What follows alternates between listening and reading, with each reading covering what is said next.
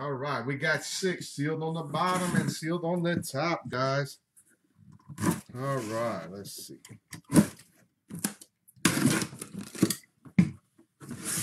Oh, those who stuck around and jumped in this break got a banger. All right, it is a mini helmet. It is a mini helmet. An Eclipse mini helmet.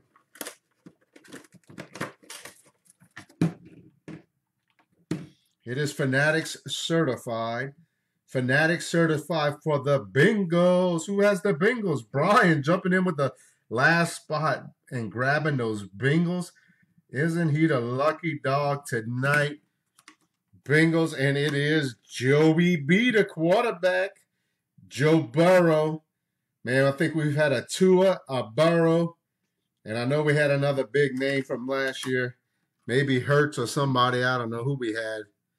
No, it wasn't Hurts.